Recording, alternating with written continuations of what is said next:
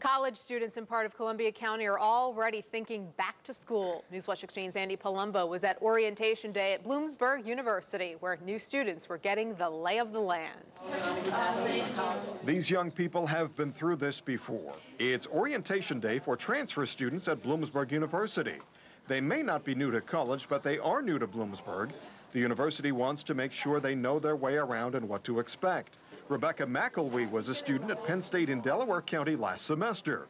She transferred to Bloomsburg because she wanted to attend classes at a smaller school rather than continue her education at Penn State's main campus. I came up here and I really liked the campus, and it was like really friendly, and I, and I always heard good stuff about it. McElwee hasn't decided on a major, but she has decided Bloomsburg is the place for her.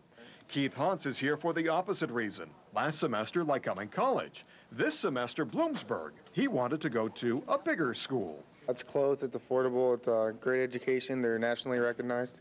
Hans has a goal of becoming an investment banker. Because the students involved in this orientation are transfer students, they've been through this before, and they say it's easier the second time around.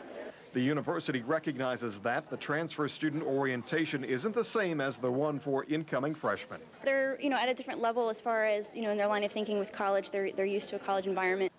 McElwee doesn't really mind having to learn the ins and outs of a new campus again. I mean, I do feel silly because I did do this before, but it happens to the best of us.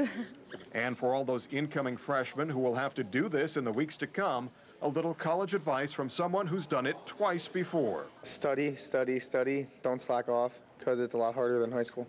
Classes here begin August 27th. Andy Palumbo, Newswatch 16, Bloomsburg.